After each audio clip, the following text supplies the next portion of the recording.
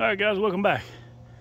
Sorry I hadn't made anything in a while. It's been super busy. Uh, it's hard to get footage when you're busy. You just feel like you're neglecting the customers. So anyway, so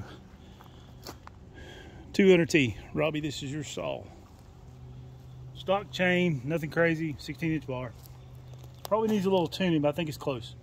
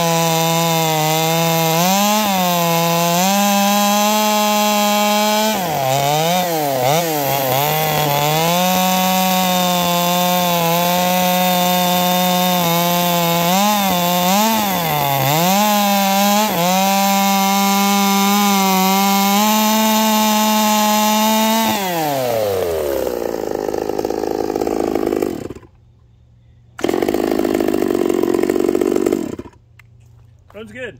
Safety chain, by the way. Um, this is my test bar. That's all I had. But anyway, runs pretty good. Um, I think you'll like it.